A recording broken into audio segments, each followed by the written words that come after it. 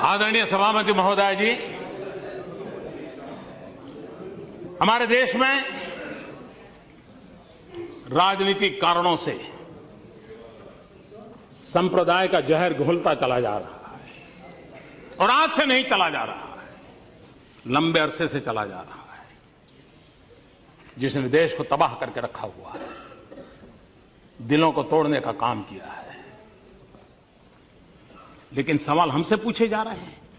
हमारी भूमिका क्या है? मैं आज जरा इस सदन को कहना चाहता हूँ।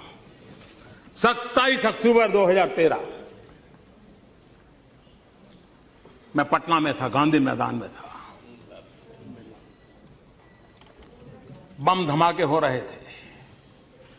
निर्दोष लोग मौत के घाट उतारे गए थे। लाखों की जनमेदनी थी। बड़ा ही कलुषित माहौल था। रक्त की धाराएँ बह रही हैं। उस समय जब इंसान के हृदय से बातें निकलती हैं, वो सच्चाई के तराजू पर शत प्रतिशत सही निकलती है। उसमें कोई लाग लपेट नहीं होता है। बम बंदूक के बीच रक्त बह रहा था, लोग मर रहे थे। उस समय मेरा जो भाषण है, और उसमें मैंने कहा था कि मैं कहना चाहता हूँ, मैं पूछना चाहता हूँ कि बताइए हिंदुओं को किसके साथ लड़ना है? क्या मुसलमान के साथ लड़ना है? कि गरीबी के साथ लड़ना है? मैं मुसलमानों को पूछता था कि आपको हिंदुओं को लड़, साथ लड़ना है? कि गरीबी के खिलाफ लड़ना है। और मैंने कहा था आइए बहुत लड़ लिया। हिंदू मुसलमान एक होकर के हम गरीबी के खिलाफ लड़ाएँगे हिंदुओं को किसके साथ लड़ना है? क्या मुसलमान के साथ लड़ना है? कि गरीबी के साथ लड़ना है? मैं मुसलमानों को पूछता था कि आपको हिंदुओं को लड़, साथ लड़ना है कि गरीबी के खिलाफ लड़ना है? और मैंने कहा था आइए बहुत लड़ लिया। हिंदू मुसलमान एक होकर के हम गरीबी के खिलाफ लड़ाएँगे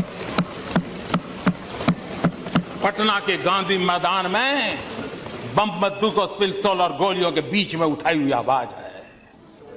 भारत को प्रेम करने वाले हर व्यक्ति के लिए ये बात साफ़ है। यह दाश विविधताओं से भरा हुआ है। विविधता में एकता, यही हमारे देश की पहचान है ये हमारी ताकत है। हम एक रूपता के पक्षकार नहीं है। हम एकता के पक्षकार हैं। और सभी संप्रदायों के, सभी संप्रदायों का फलना फूलना, सभी संप्रदायों का फलना फूलना, ये भारत की धरती पर ही संभव होता है। ये भारत की विशेषता है। और मैं ये कहना चाहता हूँ कि हमारा जो संविधान बना है, वो संविधान हज़ारों साल के हमारे चिंतन की अभिव्यक्ति है। हमारा जो संविधान बना है वो हमारे भारत के सामान्य मानवी की आशा आकांक्षाओं के प्रतिबिंबित करने वाला संविधान है। और इस संविधान के मर्यादा में रह करके देश चल सकता है। देश संविधान की मर्यादाओं के बाहर नहीं चल सकता है। किसी को भी कानून हाथ में लेने का अधिकार नहीं होता है। किसी को भी संप्रदाय के आधार पर किसी के साथ डिस्क्रिमिनेशन करने का अधिकार नहीं होता है। हर एक किसी को अपने साथ चलने का अधिकार है। और मेरी जिम्मेवारी है मेरी जिम्मेवारी है, सरकार में बैठा हूँ, सरकार कैसे चलेगी उसकी जिम्मेवारी? है और इसलिए मैं आपको कहना चाहता हूँ, और मैं बार बार कहता हुआ आया हूँ, संप्रदाय के नाम पर अनाप शनाप बातें करने वालों को कहना चाहता हूँ। मैं ये कहना नहीं चाहता हूँ आज, मैं आपका मुँह बंद करने के लिए मेरे पास हज़ारों चीज़ें हैं, मैं समय बर्बाद नहीं करता हूँ। इसके लिए मैं समय बर्बाद नहीं करता हूँ, लेकिन मैं आपको कहना चाहता हूँ, हमारा हमारा कमिटमेंट क्या है, वो मैं आपको कहना चाहता हूँ। मैंने बार बार कहा है मेरी सरकार का, मेरी सरकार का एक ही धर्म है। मेरी सरकार का एक ही धर्म है इंडिया फ़र्स्ट। मेरी सरकार का एक ही धर्म ग्रंथ है भारत का संविधान। मेरी सरकार की एक ही भक्ति है भारत भक्ति। मेरी सरकार की एक ही पूजा है सवा सौ करोड़ देशवासियों का कल्याण। मेरी सरकार की एक ही कार्यशैली है सबका साथ, सबका विकास। मेरी सरकार का एक ही धर्म है इंडिया फ़र्स्ट